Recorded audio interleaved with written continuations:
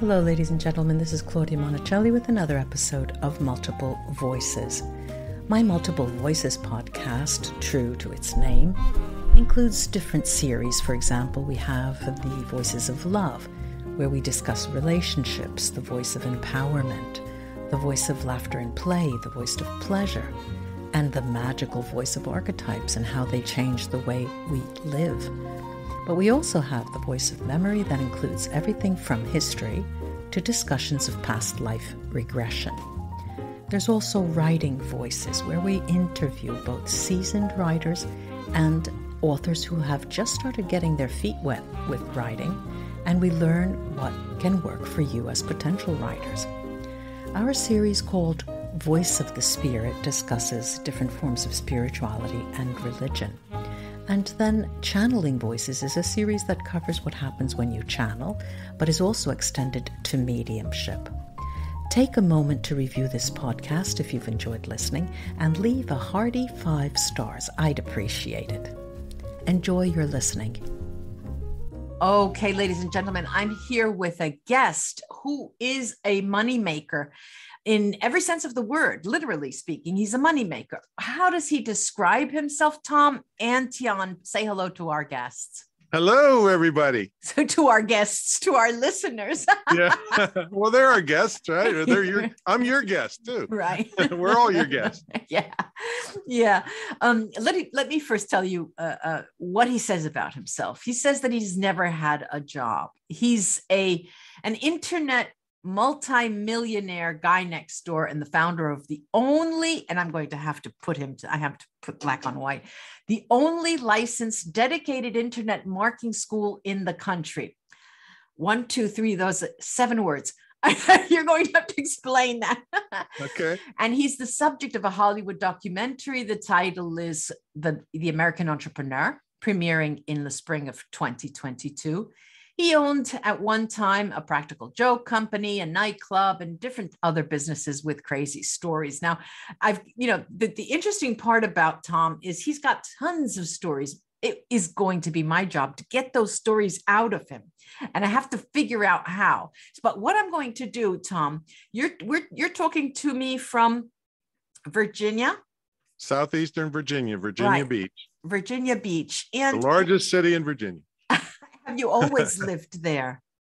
No, no. I came from a little two-horse town in western Pennsylvania. Oh, called called Claysville. It was hmm. named after the great statesman Henry Clay. Uh-huh. And and and he didn't really sleep there. His horse just took a dump there on the way through, and that was good enough for us. so five, 500 people, 500 people wow. currently is the population. That's what it so was. So then you moved up and got to the city. I went to the big city. I moved. Uh, well, I went through West by God, Virginia. I went on West, a major. Yeah, you got to say by God if you say West Virginia. yeah, I heard one of your guests was from the uh, University of California at Berkeley. Yeah. And uh, we went out to play them. A bunch of hicks from West Virginia going out to there, and we get no respect, of course, because we were the no, we were the West Virginia Mountaineers, mm. and on the scoreboard at the University of California at Berkeley, it said the Western Virginia coal miners. Oh. and then we beat them. And then oh, now that's nice. That's nice. That's nice. Ooh, that's really nice. So I well, lived in a, a, a two horse town yeah. And uh, we lived in the suburbs. So I was uh-huh. clear in the sticks. There was nobody to play with. I was the baby of six boys and uh, oh. Uh, became very creative. Let's put it that way. so so you came from a fairly big family. I mean, six children. I mean, that's a, a big family by even yeah. you know any standards really. Yeah. And so where were you on the line? Were you the I was oldest? the baby. Oh my goodness. Yeah, you were the baby. The baby, baby oh, of six boys. Yep. And uh, wow. Um, what's interesting was is my dad was married to my mother for 57 years. Uh-huh. But the the cool part is is he was married to another lady for 20 years. I mean, well, how old? Married, he, he got around this man. yeah, he he was married for 77 years. And I, I haven't made it 77 minutes with anybody. but uh, yeah, he died at 94. You're basically sitting here talking to him because he pretty much molded my whole entrepreneurial experience and everything. But except for the part getting married, yeah. so so let's see. Okay, so so little Tim, little Tom, sorry, Tom, yeah, uh, yeah. grows. Tiny Tom, yeah. t- tiny Tom grows, but you eventually get to high school, right? What kind of Tom was in high school? What was the high school like for you? Well, there was quite a journey to get to high school because I was um, I was very large. Uh, oh. I was 140 pounds in oh my first goodness. grade.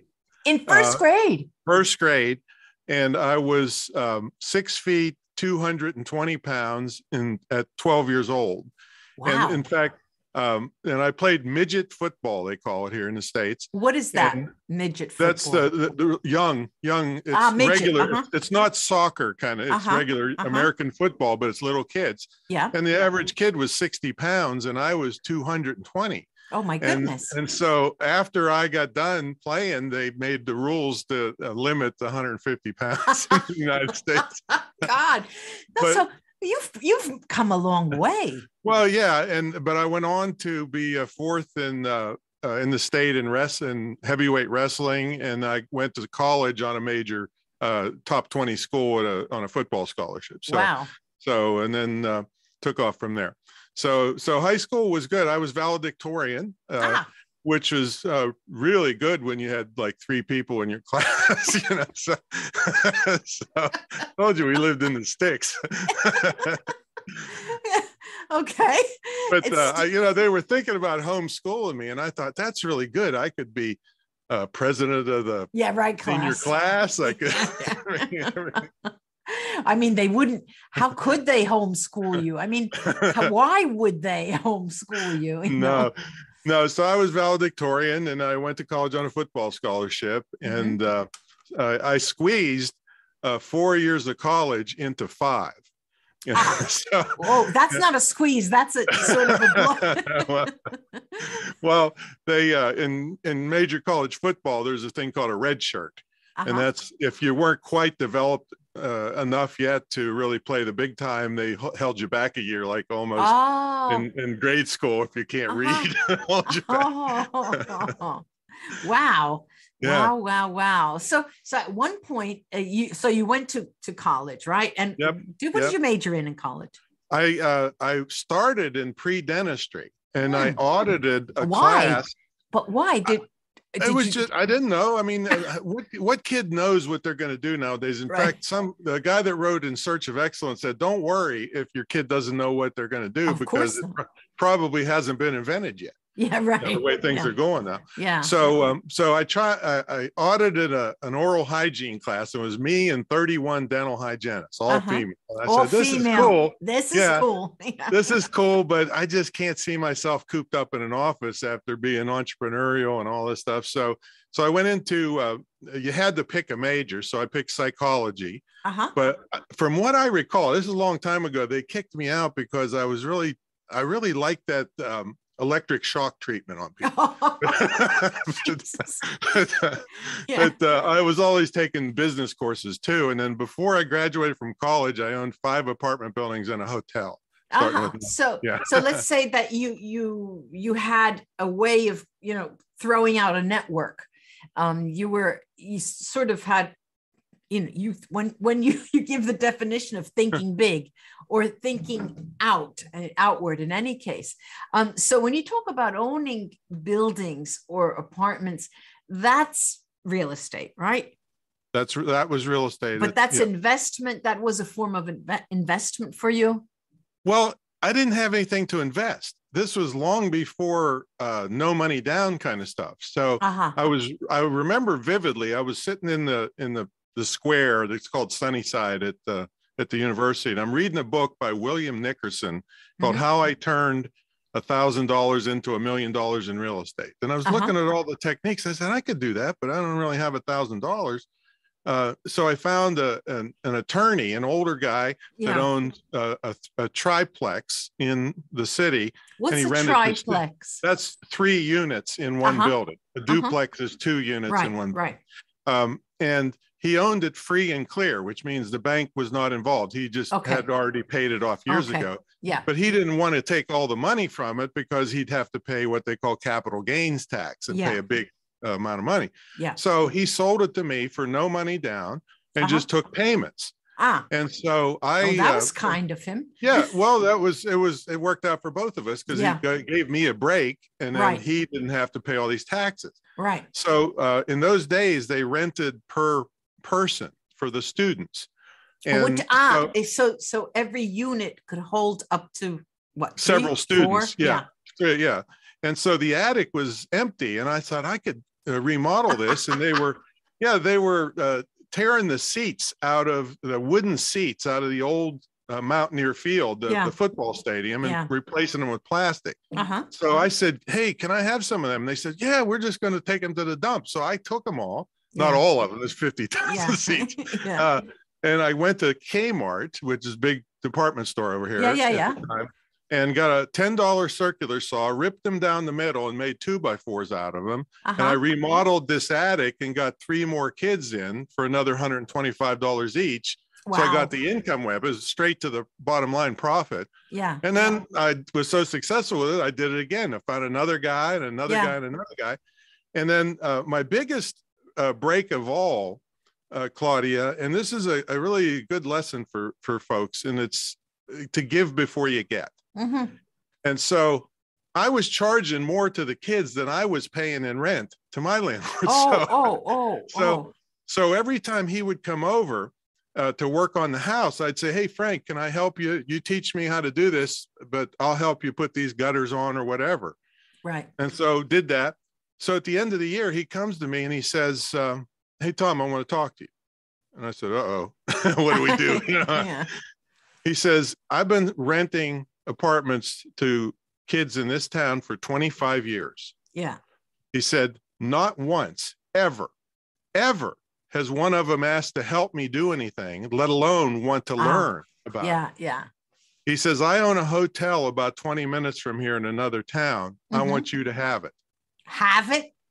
Well, have it meant that he said, This is again, you got to know a little bit about real estate finance, but he says, I'll hold the second mortgage. You Uh-huh. just have to come up with the first mortgage, Uh-huh. and then you'll have no money down. I'll train you how to run it. I want to retire and go to Florida. Right. So that's the first lesson give before you get. Second lesson is persistence. Uh huh. I went, I had to go to 50 different lending institutions because they were saying, okay, you're a little kid that's got a couple apartments, but this is a hotel. What are you trying to do? Took Yeah. 50 tries and I finally landed the first mortgage. He held back the mortgage for the second mortgage. Yeah. I paid both of them off and uh, I was making $65,000 a year while I was in college in the 70s. And then I sold the whole thing to the city for several hundred thousand. So I made a half a million dollars on it from giving before I get and being persistent. Hey, look at you. You left me.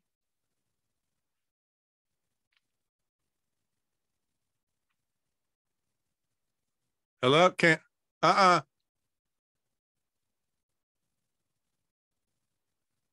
Can't hear you.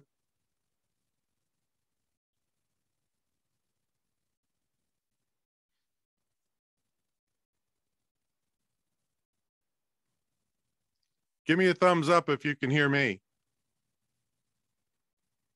I can't hear you. Your your audio is gone.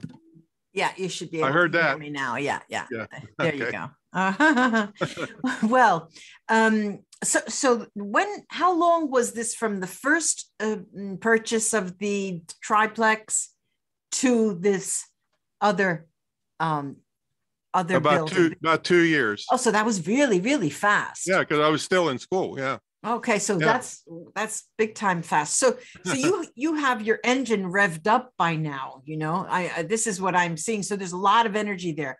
Whatever happened to all of those extra uh, hundred pounds, two hundred pounds? D- Did they go somewhere? You know, volatile like energy, or, or You mean uh, you mean my weight? yeah, yeah, Yeah. No. Well, they um, uh, as soon as you know when you're in major college football, your your your caloric intake is high, but your exercise is over the, the professional level yeah, pretty much. right.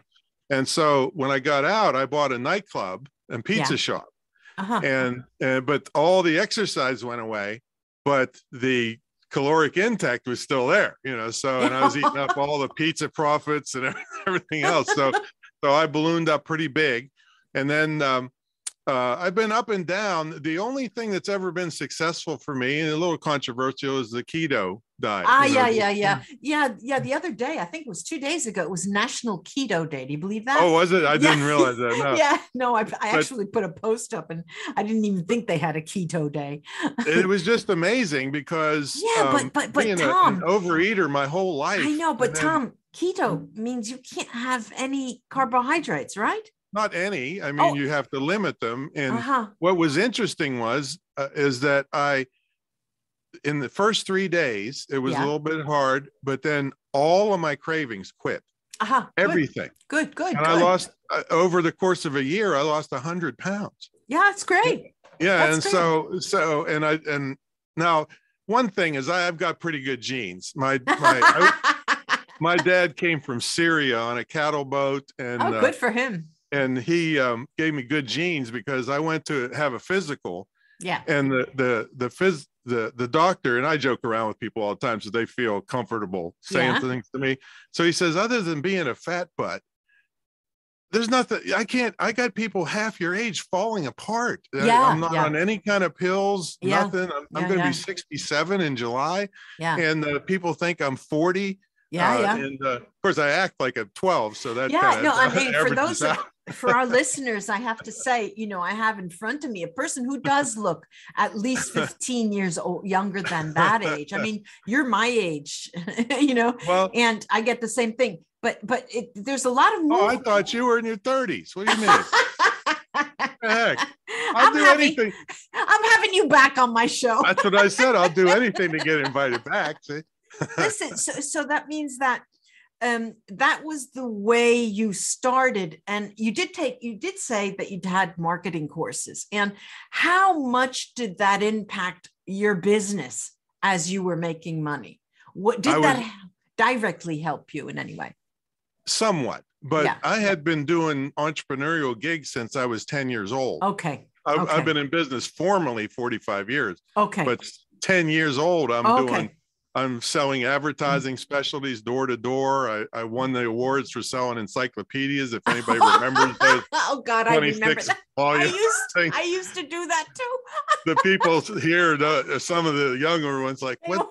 What's the hard, so hard about selling a disc? I mean, or- right so uh, uh, I was uh, uh, always helping my dad with stuff. He was uh, he was an entrepreneur, but then he was also an electrician, Mhm. and so um, he was uh, he would bring home all this extra wire from the jobs. He was the foreman, uh, the Yeah. temporary, and I would strip the rubber off and take it in and get you know so much per Yeah. pound. I mean, he's always doing something yeah entrepreneurial. yeah so so let's say that um you have all of these a lot a lot of in italian we say a lot of trains are leaving at the same time Mhm. you have a lot of things going on uh, parallel right um but you must have a business that is you know like your first child something that you really really love that uh, more than all of the other businesses I'm in it. Yeah, right now uh, because it's um, you know I, I've I've had a nightclub, I've had a pizza shop, I was Right. a freelance charter pilot. yeah I uh, you know my podcast is called Screw the Commute because you can almost live two or three extra lives if you're not in traffic making somebody else rich all the time. you well, know? yeah yeah so So, when you it- say I'm in it, uh, can you describe what in it is? In what? Yes. So uh, after the entertainment company, I got worldwide publicity for doing all the crazy stuff in our entertainment company, Uh huh. and it led to a professional speaking career. Ah, okay. So I've done 3,000 speeches in 12 countries, and uh, uh, and that was prior to the internet coming along. yeah. So in 1990, and you know, all of us would try to sell tapes and stuff uh, Yeah, in our yeah. books and things like that.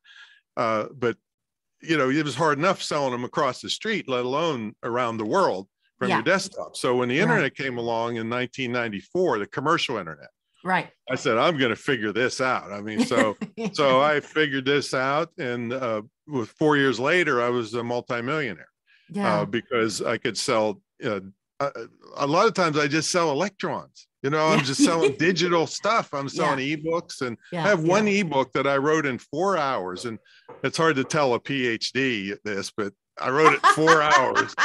And, you know, you probably spent four years on your No. thesis or no, something. No, no, no, no.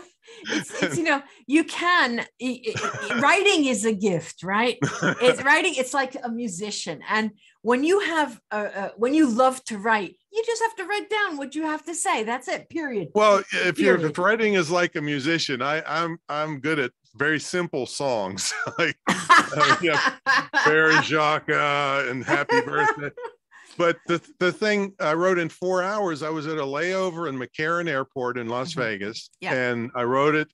It's brought in as of this morning, three point six eight million dollars, Mhm. And, and it's a was this self-published? How did you, or you have a everything is company? well no i've had major major published uh, books and Mhm. they're the biggest pain in the neck and Nick, the I know money it is. It is of all i mean Mhm. they nickel i mean they gave me a good advance but nowadays you can't get a good advance unless you're Yeah. a big celebrity Mhm. um, so uh, they're all self-published and many are ebooks now and Mhm. now i'm starting to make uh, audible uh, i just finished this weekend audio uh, books. Yeah. uh, audio books uh, i've had a lot of audio programs but Mhm. this is uh, very highly structured to be on Yeah. Audible and Yeah, yeah. you know, Yeah, yeah. places and stuff. Tell me um, now. there are several books I've seen, you know, on your website. Why don't you give us a, a, a couple of names of the titles of the books? Because, of course, uh, in the description of this episode, I'm going to write down your website, and there is everything.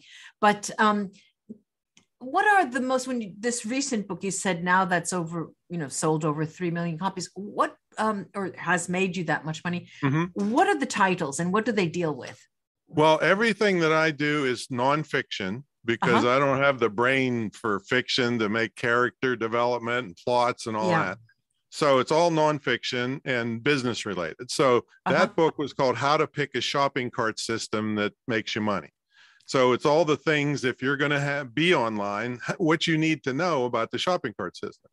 And it's a free ebook. Now that's another concept. People say, "Boy, that's BS. How can you make three million dollars on a free yeah, ebook?" right. Well, here's the method. It's very simple. Uh, in online, oh, Amazon actually kind of invented this is the affiliate stuff where Right. you recommend something to uh, Amazon sells and they give Mhm. you money.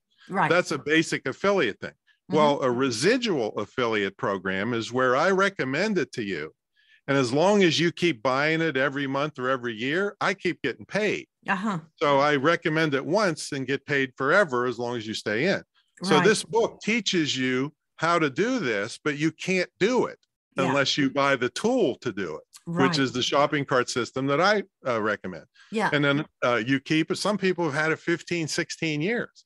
You know, I- you know, it 20 I'm listening to you, Tom, and I'm, you know, uh, I'm getting tired of. Uh, I'm getting tired of just listening because, you know, I mean, if you were to- would be talking about dancing or you know having fun or you know doing cooking, except here there's such such a superstructure. You know, it's it's about structure, it's about systems, it's about the way systems work. Which of course we have to have that. You know, bird's eye view. We have to know how things work at a bird's eye level, you know. Um, I'm thinking uh, it's tiresome to count all that money. I mean, it all depends on your mindset. I get a big kick. My my nickname is the King of Kaching because I have my I have my Ka-ching, email ka-ching. set to go Kaching when the Ka-ching. orders come in. yeah, And my students were here and they said, You're the king of Kaching, aren't you? Okay. so they named me that. Uh, so, you know, but you talk about if I was talking about dancing, yeah, you know, you'd be thrilled. But a good day for dancing for me is if I don't hurt anybody on the on the dance floor. Yeah, Yeah, yeah. yeah. So everybody's So- got their own thing. All right. you know? So, so before um, in the in the beginning of the talk, you mentioned um, you learned early on that you have to give give and to get back, right? Right.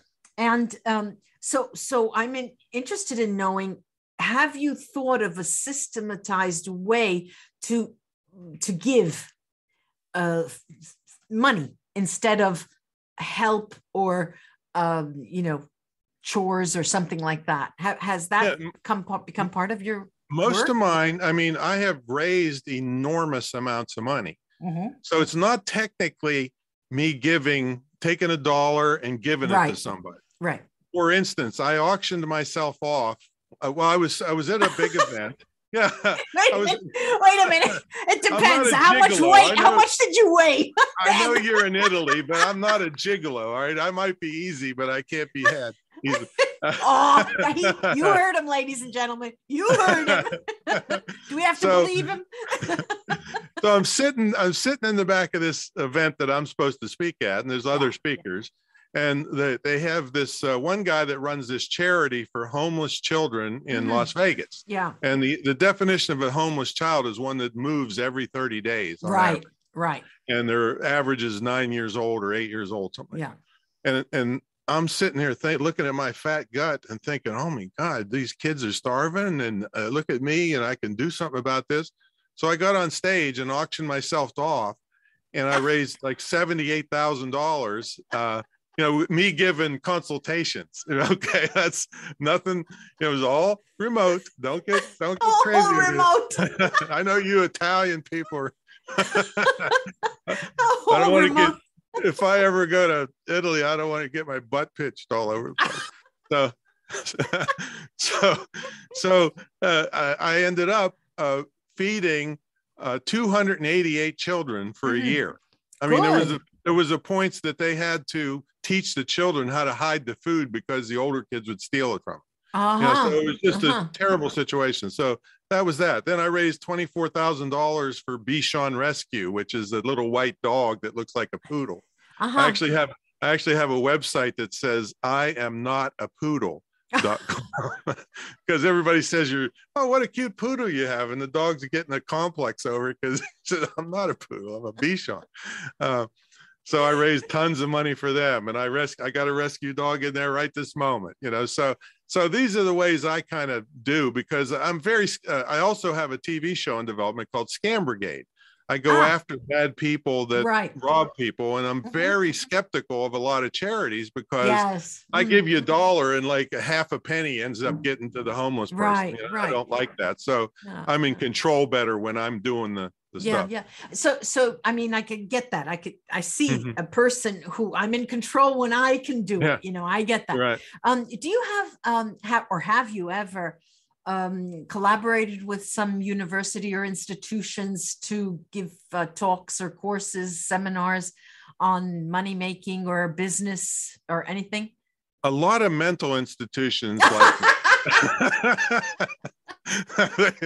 they can't wait to get their hands on I'm, it. I'm, I'm seeing, I'm, I'm looking at one flew over the cuckoo's nest. and They're all right. watching the television. You come walking in, Right. give your talk. They're still.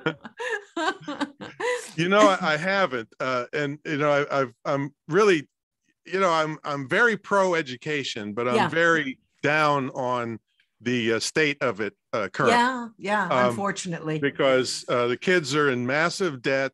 yeah, They're learning nothing Yeah, but how to yeah. protest, and they and and you, they'll cry if they if somebody drops a feather in front of them. yeah, You know, they're they're not uh, getting skills. yeah. and so. I said, you know what, I'm going to start my own school. Well, that's You what I was going to say. Have you thought I about did. that? I did. I did Oh. 12 years ago. I started the Oh. school. And what Yeah. kind of school is it? It's a it's considered vocational, Uh-huh. but it's uh, uh, the only licensed internet marketing school in the USA. Okay. All right. So Yeah, now, that's- when eh, can you talk to us about that a Yeah. little bit more in detail because this is interesting it's well it's interesting it's everything you you talk about is interesting but this i mean i want to be i, I want to invite you again so i have to be complimentary myself but but um tell us a little bit ab- about well, it uh, you know, as I said, I go after bad people because there's Yeah. a lot of scammers out there, and Yeah. uh, and Mhm. uh, you know, it's it's uh, like old Ronald Reagan said, trust but verify. yeah You know, so you know, a lot of trusting people get really ripped off in this arena because Mhm. You can be. uh, There was a New Yorker cartoon where there was a dog at a computer, Mhm. and his buddy is a dog, and he says, "Hey, you can't be on the computer selling stuff. You're a dog." He says, "Hey, on the computer, they can't tell if you're a dog." yeah right Yeah, And right. so, yeah, anybody can get on here and, Yeah. and say whatever and then take your money. See, so Yeah. I, I went after those people. And so I thought, you know, in my regular business, that to get my students and things, I need to set myself apart. So I went through three years of uh, scrutiny, financial background checks, Mm-hmm. everything to get the license to have a for profit school uh-huh. uh, because uh, uh, they really cracked down on for-profit Yeah. schools because a lot of the owners were ripping the students off and Yeah, getting rich and giving Mhm. them no education. So um, So I- wait, I hold on said- a second, Tom. Yeah. Um, let me interrupt you. So when you Yeah. said it's a vocational school, what level are, is it an open age, open type of um yeah, enrollment? you, it's a distance learning school, Yeah, and it's uh, you know if you're under 18, you have to have parental permission. But, mhm. but we have had uh, uh, uh, two people under. One was 12 and one was eight. Wrote, both wrote three books. uh-huh. wow. so so um, the kids are crazy uh, good with the technology nowadays. Yeah, I should yeah. turn this ringer off.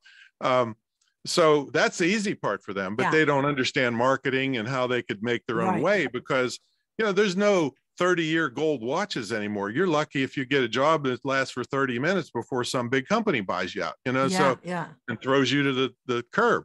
Uh, and then you got, uh, excuse me, PhD again. You got PhDs and MBAs uh, Yeah. competing for jobs at Starbucks. All right. Yeah, yeah. So, I know. so this, and this is true. This is not exaggeration. So, so these people, uh, minimum of six months. It usually takes people six months to a year, but they have a digital and internet marketing skill where they know how Yeah. to do email marketing and shopping carts and social media the, the way that actually makes Yeah. money.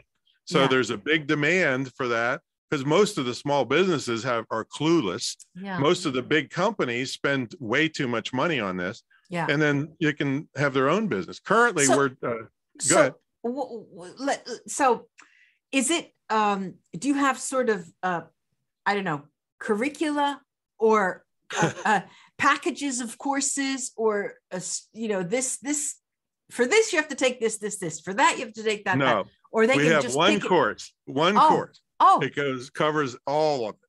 oh. And uh, and the thing is is uh, what i found in in all the years i've been doing this teaching this since you know 23 24 years mhm, is that people come and they think they want one thing. Right and even if they learned that one thing there's a hundred other things they got to know to make that one thing right work. Right it's and i tell people it's like a jigsaw puzzle but you don't have the box to see what the whole picture looks like. Right. And i'm the you know, my school was the the box cover. So Right. you say oh i see how this works and this works and this works. Yeah. But when you said curricula, the reason I laughed is Uh, because well you're we're the only. you're the you that snide smile and snicker as you say phd i got it well, no, the thing was is that the we change our curriculum sometimes daily. Uh-huh. No school on earth does this. No class on earth does this. But I'm not going to teach you something tomorrow that I found out is obsolete now on the Uh-huh. internet because that's how fast things change. Uh-huh. So we have this massive list of changes we've made over the years, and you might be on course two, and course one has a major change. Well, I, I want you to know about it because I Uh-huh. want to give you a quality education and then teach you how to keep up into the future because it changes like crazy. Yeah. So how long is this big long one course? Uh, you can the, the minimum you can go through is six months. Most people take six months to a year if they take advantage of all the electives. Ah, okay, okay. So how many hours? Well, no. That- well, they they call, they call it 540 Ah, clock hours or something Right, like that. right, I don't right. know what the the educators Uh-huh. do. And but you know, that's the one thing that's a little bit crazy about this is that it's a distance learning school. yeah. Right? Yeah. Not one student has ever set foot in our office. We had to maintain a physical library full of printed books Mhm. and a place for them to look. And not one person has in 12 years has ever been in the building. that's just, that's what drives me crazy about this, this stuff. But still uh, we've been uh, we're we're stood apart now currently uh, we've got this pilot program to again you asked me how i how i help people so we got a pilot program to help persons with disabilities uh-huh. see i've always thought that this is perfect for persons with disabilities because Right. not only can they legitimately learn remotely they can lit- legitimately be hired remotely Uh-huh. And so we've got three people. If you want to be inspired, two of them are blind going Yeah, through an yeah. internet marketing program. Uh-huh. And uh, so we started a GoFundMe account to get people involved. And, and then I took a grant writing course so that once I prove the concept that I can get these people hired and, and really going, then I'm going to roll it out big to Yeah. foundations and corporations. So, so uh, let's say you have this school, and do you have a count of how many attendees have gone through the Oh, course? uh, probably the- a couple hundred over 12 years. It's not, it's a boutique school. It's, it's, uh, Uh-huh. and it's usually people that know me from my reputation. yeah, And, uh, and so it's low, uh, you know, low volume, high touch. There's not going Yeah, to be yeah. 200 people in a class at once, you know, uh-huh, and uh-huh. it's, it's asynchronous. So you can be, you know, working a full-time job and do it in the middle of the night if you want. yeah, yeah. Very And where can um, people find out about this? Do you have? Is Yeah. it mentioned on your on your Well, website? Well, it is its own website, the Internet Marketing Training Center of Virginia. So it's imtcva.org, Oh, Internet okay. Marketing Training Center, Virginia, va.org. Okay. Um, but uh, we can, we can. uh, yeah, you can write that to me and I'll add yeah. it here Sure. for everyone. Yeah, yeah. Yeah. Interesting, interesting. Well, I, you know, I I think that there's a lot of meat here for a long conversation. I didn't even get mean- warmed up yet. Oh, I know you didn't even get warmed up, but we did talk about you. we did talk about you. And I mean, you're the person, you're the go to person if people want to know how to make money and how to capitalize on especially speaking events. And um, you know, I, I was smiling when I was reading this because then I said, Well, he's coming to speak on my show. I wonder what he's expecting from me. you know, and um, I, I know what you're saying. I mean, you you were you started speaking at events in the days of motivational speaking, you know, when they used to call it that then, and they still do, but it's done differently. Yeah, it's, Um, it's different now. Yeah, it's completely different. Um, so so where's the next mission? Where's the next thing? What's the next um project? Well, the uh, I'm so happy with this project I'm on now because uh, every day, I mean, I haven't been on an airplane in two years. I love it because if you look at TV, Yeah. they're dragging people off the plane, the Yeah. police and the FBI's waiting Yeah. for them, and everybody's screaming. Yeah. So this is uh, I'm not mandated to do anything but sit here Yeah. and help people. You know, so yeah. so I don't really look too far in advance uh, because uh, I'm just, you know, I couldn't have gotten 45 years under my belt of doing stuff like this if I, I mean, I could have quit 20 years ago. I Yeah. wouldn't be here talking to you if it wasn't Yeah, fun yeah, yeah, yeah, I'm yeah, doing yeah. stuff and I got uh, clients going to be waiting and I'm going to be helping them develop their products and their books and everything. So, so uh, that's good enough for me. I, when people say, when are you going to retire? And I'm like, Oh? well, from, From what? what? Yeah, from yeah, what? exactly. I, I can't wait to tell people about some of the things we we do that they can do to. It's like a, I, what I teach is like an insurance policy for your family. Like I teach Mhm. people how to keep their make their hobbies tax deductible. Mm, Where most people just pay through the nose for their hobbies and then they feel guilty about it. Where Yeah. you put up a, a a hundred fifty dollar website that's world class, if you knew what you were Yeah. doing, yeah. and uh, even put an affiliate product up there, yeah, you've got a business now. Yeah, yeah, makes a lot of things tax deductible. You know, so Yeah. it's Oh, no, it is definitely fascinating. working for a living. But it's fascinating. it's fascinating. And um, what's the next book going to be on? Uh, the next, uh, oh. I gotcha. I Oh, gotcha. boy. he's spellbound. He's not talking. He's thinking still. no, I, I already- I already know what it is. It's, All right. um, it's called Highly Educated Idiots. Ah, I love that. I love that. Yeah, and so I've been collecting all this craziness that's going on of people that should be know better, and they make decisions that are just.